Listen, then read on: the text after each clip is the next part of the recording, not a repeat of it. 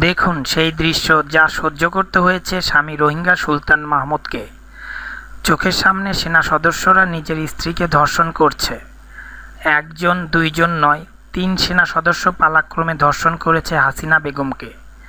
পাশে বসে সেই দৃশ্য সহ্য করতে হয়েছে স্বামী সুলতান মাহমুদকে। সেই বর্ণনা দিতে গিয়ে বুক ফেটে যায় তার, কণ্ঠরুদ্ধ হয়ে আসে, চোখ দিয়ে অঝরে ঝরে অশ্রু।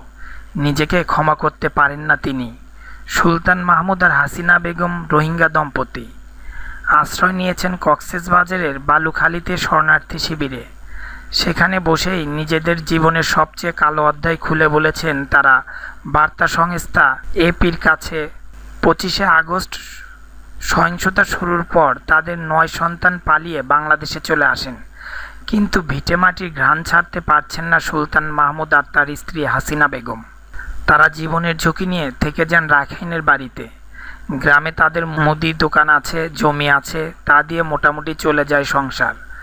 এসবের মায়া ছাড়তে পারেননি তারা। এছাড়া পালিয়ে বাংলাদেশে চলে আসার ক্ষেত্রে তাদের সামনে আরও একটি বাধা ছিল, তা হলো সুলতান মাহমুদের একটি পানি। দু বছর আগে সেনাবাহিনীর সদস্যরা তাকে গুলি করেছিল।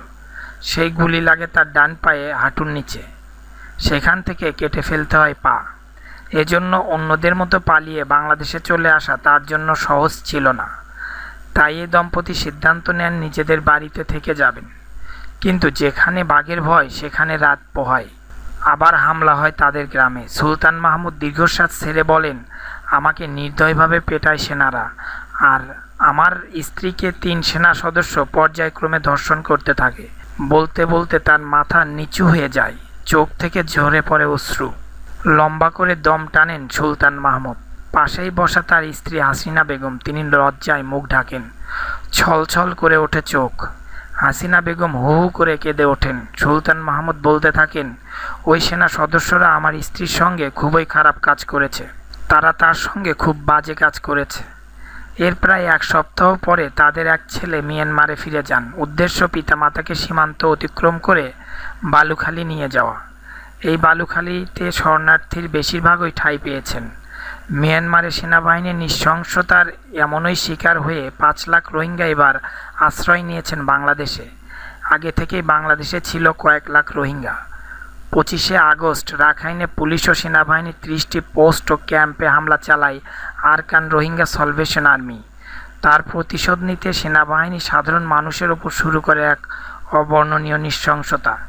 এই এলাকায় সাংবাদিক বা নিরপেক্ষ কোনো পর্যবেক্ষকের প্রবেশের অনুমতি না থাকলেও যেসব তথ্য বাহিরের দুনিয়ায় এখন জানতে পেরেছে, তাতে গা শিউরে ওঠে।